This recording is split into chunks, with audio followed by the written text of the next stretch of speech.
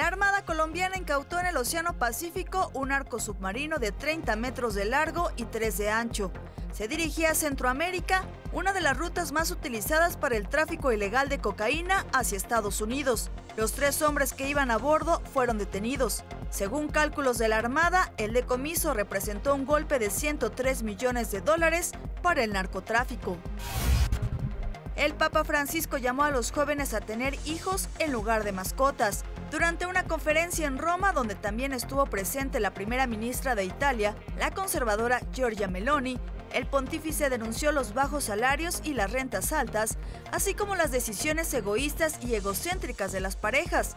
Italia registró un mínimo histórico de nacimientos en el 2022. Formar una familia se ha convertido en un esfuerzo titánico, en lugar de ser un valor compartido que todos reconocen y apoyan. Esta es la primera fotografía oficial del rey Carlos III en el trono, junto a sus sucesores, el príncipe William y el príncipe George. A pesar de que el príncipe Harry renunció a sus deberes con la familia real, el hijo menor del rey Carlos y la fallecida Lady Di sí figura en la línea de sucesión al trono en quinto lugar.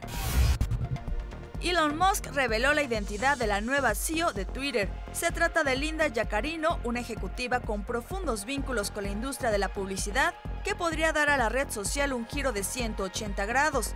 Yacarino trabajó durante casi 12 años en NBC Universal. Su equipo generó más de 100 mil millones de dólares en ventas desde 2011. Ahora se encargará de las operaciones comerciales de Twitter, mientras Musk se centra en el diseño de productos y nuevas tecnologías.